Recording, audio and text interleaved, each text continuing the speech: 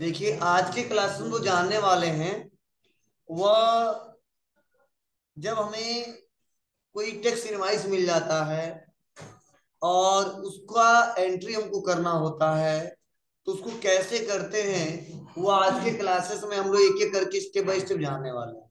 अब देखिए, मैंने आपको पढ़ाया था और इस बिल पे लिखा है ऊपर टैक्स इनवाइस और ये हमारा परचेज का बिल है। किसका बिल है? परचेज का बिल है। अब जो टैक्स इनवाइस है, क्यों लिखा है टैक्स इनवाइस तो हमने जीएसटी का थ्योरी पढ़ाया था कि जब रेगुलर डीलर के द्वारा किसी टैक्सेबल गुड्स को सोल्ड किया जाए तो वह जो इशू करेगा, वो टैक्स इनवाइस इशू करेगा। जब रेगुलर डीलर के द्वारा किसी एग्जेम्प्टेड गुड्स को सप्लाई किया जाए तो वहाँ पे लिखा रहता है बिल ऑफ़ सप्लाई और कंपोजिशन में दोनों में बिल ऑफ़ सप्लाई तो जिससे लिखा है टैक्स इनवाइस इतना तो हमको क्लियर हो गया कि यह एक रेगुलर डीलर है।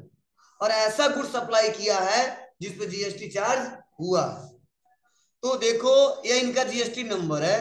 GST number zero nine A P दिख रहा आपको? और यहाँ पर ध्यान दीजिएगा लिखा टैक्स इनवाइस और उस पार्टी का नाम लिखा कंप्यूटर एम्पायर मतलब जिससे हमने खरीदा है क्या नाम है उनका?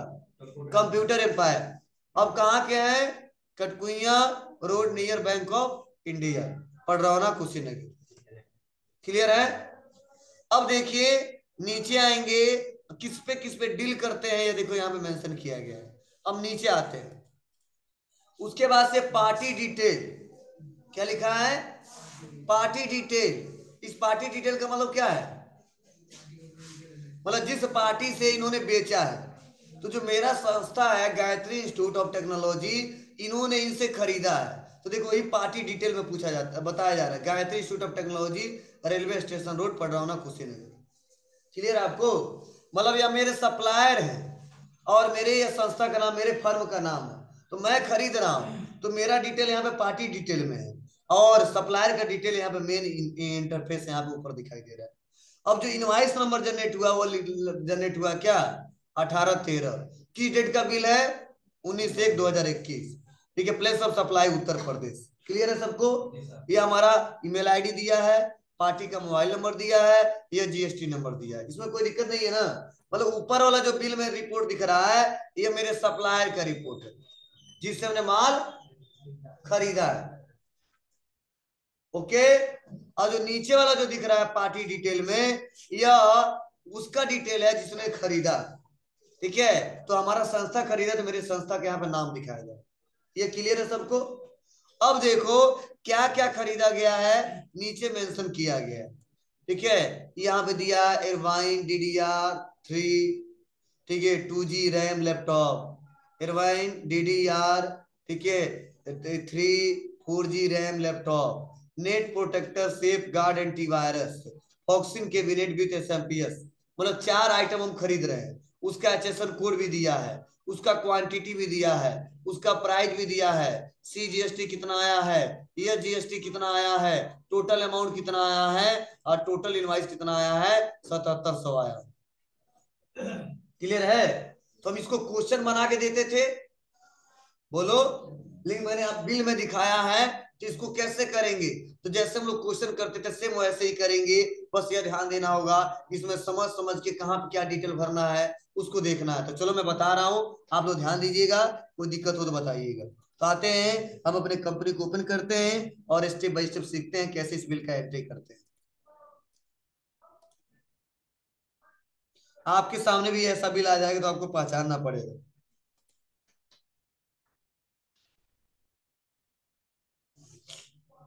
हाँ कई लोगों मन में कंफ्यूजन होगा कि सर कैसे जानेंगे? सेल वाला है कि परचेज वाला है? अरे यार, जिससे खरीदोगे उसका डिटेल पता होगा ना। जिससे बेचोगे उसका डिटेल पता होगा ना। तो हम बेच रहे हैं जान रहे किससे बेच रहे हैं। तो वही बिल जो देते वो सेल वाला है। जिससे खरीद रहे हम जान रहे किससे खरीद रहे हैं। वो जो बिल है, वो परचेज वाला है। उस पर लिख के नहीं आता सेल हाँ परचेज या तो एक और कॉमन सेंस बताते हैं। अगर किसी से खरीदते तो उसका नाम हमेशा ऊपर रहता है। हमारा पार्टी डिटेल में नीचे रहता है। जिसे बेचते हैं तो हमारा ऊपर आता है। अब पार्टी डिटेल में मेरे कस्टमर का नीचे आता है। तो सेल वाला हम ग्लू जनरेट करते हैं? परचेज वाला आता है, उसी को चढ़ाते हैं। तो चलिए कंटिन्यू एजुकेशन मोड पे आते हैं और कंपनी को ओपन करते हैं।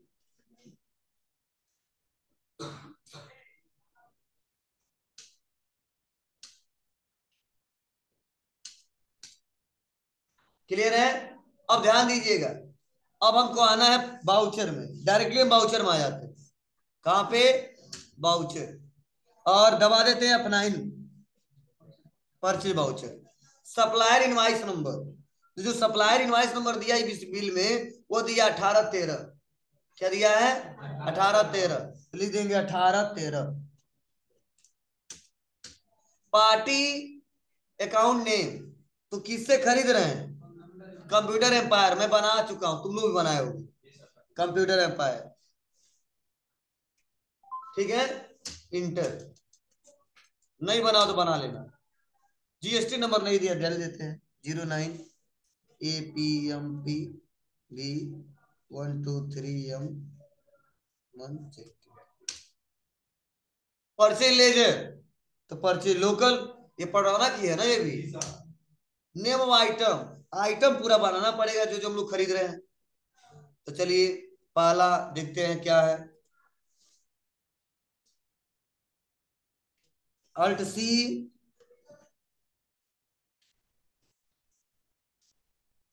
D D R three two G B RAM क्या है? लैपटॉप लैपटॉप का रैम है।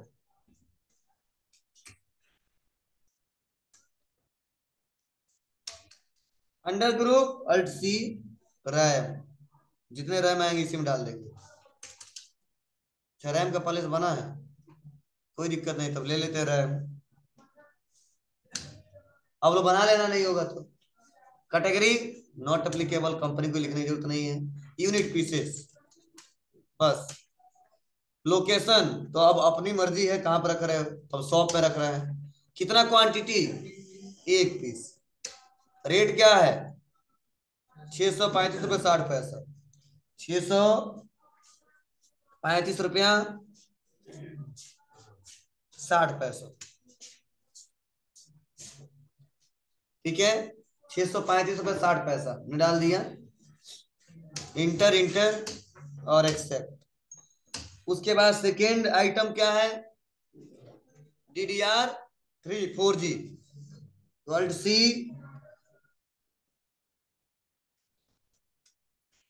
DDR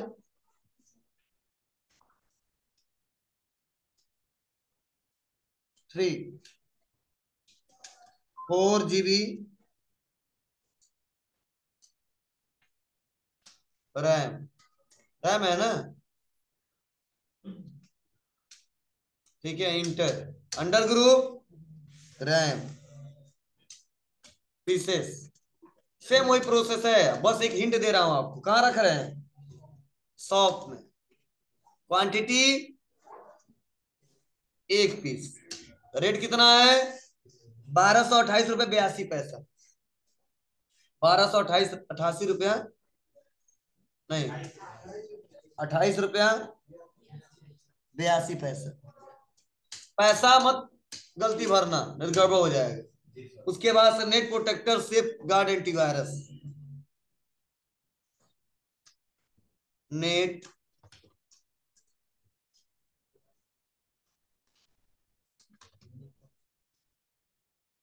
क्या है जी उसके बाद? Net protector safe guard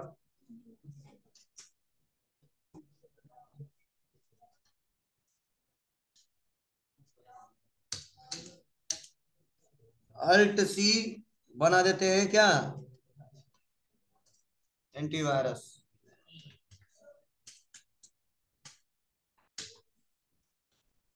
yes H S N code पचासी तेईस. टैक्सेबल कितना परसेंट टैक्स है? नौ नौ दिख रहा है, अठारह परसेंट है. पीसेस किस लोकेशन पर रख रहे हैं? सौ पे। क्वांटिटी एक पीस रेट दो सौ चौवन चौबीस। Last item Foxin cabinet with S MPS alt C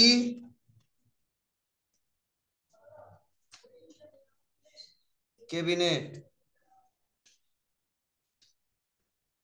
S है? चलो। अल्ट सी बना देते हैं। क्या गुरु? S M P S yes H S N code चौरासी तिहत्तर। टैक्सेबल अठारह परसेंट नॉट अप्लीकेबल पीसेस कहाँ पे? शॉप में। क्वांटिटी चार पीस रेट ग्यारह सौ एक रुपया, सत्तर पैसे। कौन है जी? उसी मना किए थे, फ़ोन नहीं आना चाहिए।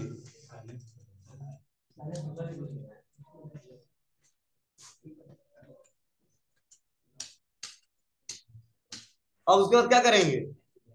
सेंट्रल टैक्स और स्टेट टैक्स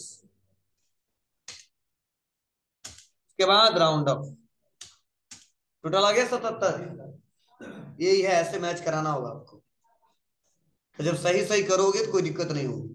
जैसे हम बताए, पाले वैसे ही करना है। तो इस बार हम बिल में से दिखा के बता दिए कहाँ कहाँ, क्या मैंसर करते हैं। देखो, एक बार मैं और बता दे रहा हूँ, क्या बताया हूँ?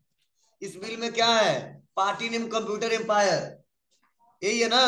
तो हम यहाँ पे देखो, पार्टी नेम में क्या डाल दिए computer empire. Supplier invoice number अठारह, तेरह। तो कहाँ दिया है यहाँ पे? इनवाइस नंबर अठारह, तेरह।